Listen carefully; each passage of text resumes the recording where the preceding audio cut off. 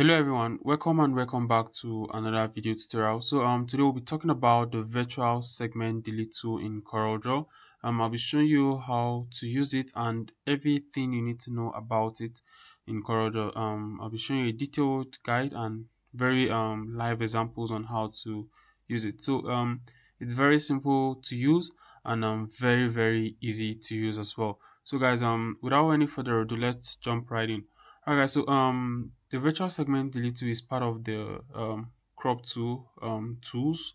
So um, it's located at um, the toolbar section under the crop tool.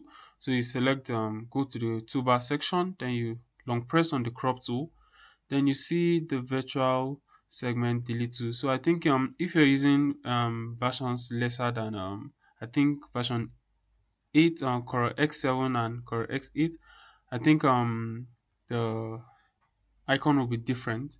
So um so this is it if you're using um, higher versions. So you select this the virtual segment delete tool so what it does basically um it removes overlapping segments or areas. So um, what i mean by overlapping is that um this line is overlapping this circle here. So um once you have something like this and you want to create a shape out of it then um the virtual segment delete tool is um the right tool for that. So um, we have this now. So let's create something out of this. So i'll be giving examples with this. So these are the some of the icons i've created. So you deal with these areas that you don't want. You delete un unwanted areas like this. So you just drag over drag this drag this then you drag this you drag this. So you need to be careful so that you don't delete um, the important areas. Even if you do for instance then control z to undo that. So you have to make sure um, the objects are overlapping themselves. So um basically this is it. This is what we have at the end of the day. So you can increase the outline to whatever choice. All right so um and if you notice this broken um edges here. So to fix that up you can um highlight everything. Then you come to your status where you have this um, pen tool icon. Then you double click then you have this area where you have um, round cap. So depending on your choice so you play around what you have here and see if you, if you see um, this has been closed up.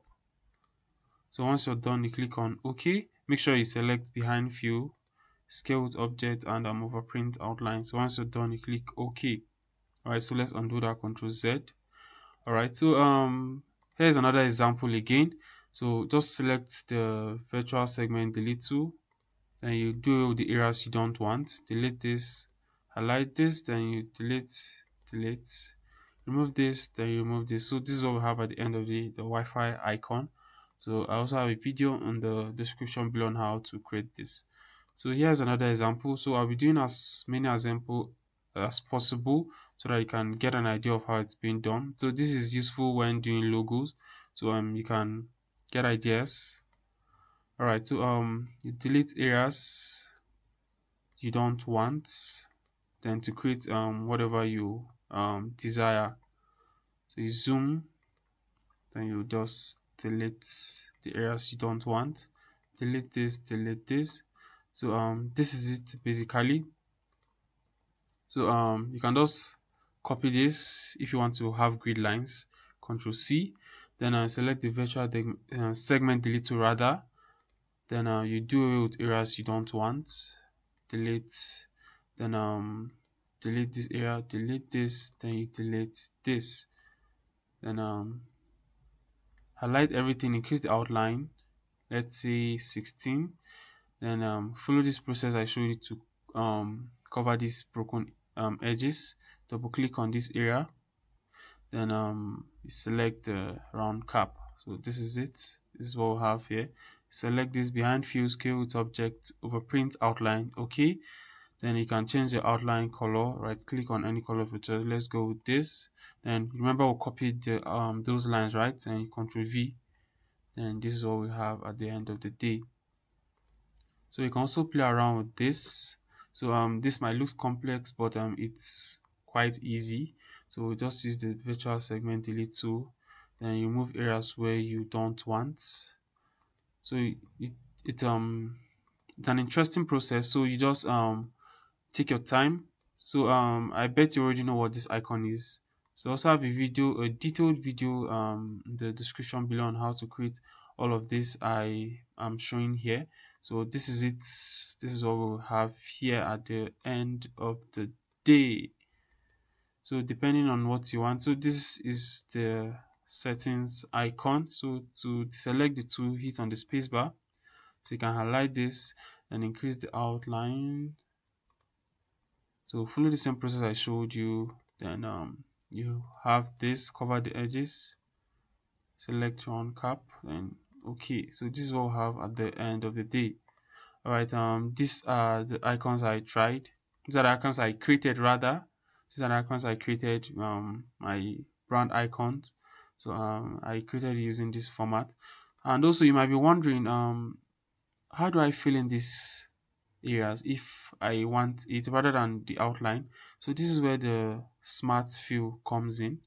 So what it does is that um, it fills empty um, areas and it creates a new object. So i have a video in the description below a detailed video rather in the description below on um, how to use um, the smart fill in CorelDRAW it contains um, everything you need to know so you can check it out. But for the sake of this video tutorial i'll just go over it a brief um, introduction to it. So we just select the smart fill so it's located at this area. If you can't find it i have a video in the description below on how to locate the smart fill so it's just click on this area. You have to make sure there's no open space here. If there's if there's an open space it won't work. Rather to fill the entire um, canvas so this is what we have. Just drag it and you still have this. So in case um same thing here. If you don't want the outline just follow the same process. Do this. Then hold shift select and you drag this to this area. So same thing applies to this. And you can also increase the outline.